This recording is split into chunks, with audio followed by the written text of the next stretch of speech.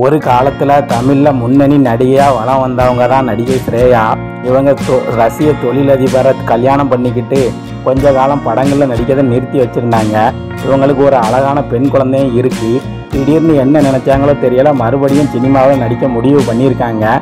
Reentry கொடுக்கும்போது பழைய மாதிரி வாய்ப்பு கிடைக்காதுன்னு தெரிஞ்ச இவங்க அவங்களோட கவர்ச்சி படங்களையும் வீடியோக்களையும் அவங்களோட சோஷியல் மீடியா பக்கத்தில் அப்லோடு பண்ண ஆரம்பிச்சிட்டாங்க. அப்படித்தான் இப்போ வெறும் பிகினி துணியை மட்டும் போட்டுக்கிட்டு ஸ்விம்மிங் பூலில் குளித்த இவங்களோட வீடியோ ஒன்று சோஷியல் மீடியாவில் படு வைரலாக போய்கிட்டு இருக்கு. வெள்ளை கலர் பிகினி ட்ரெஸ்ஸை போட்டுக்கிட்டு கேமராவை அவங்க பக்கத்தில் க்ளோஸாக வச்சுக்கிட்டு வேணுமுனே கண்ட இடத்தையும் காட்டியிருக்காங்க இவங்க. இவங்க இந்த வேலையை பார்க்கும்போது அவங்க குழந்தையும் புருஷனும் பக்கத்தில் தான் இருக்காங்க. கல்யாணத்துக்கு பிறகு இப்படி ஒரு கவர்ச்சியை வெளிப்படுத்தின ஸ்ரேயாவை அவங்களோட வெறித்தனமான ரசிகர்கள் இப்போ இணையத்தில் கொண்டாடி வருகின்றனர்.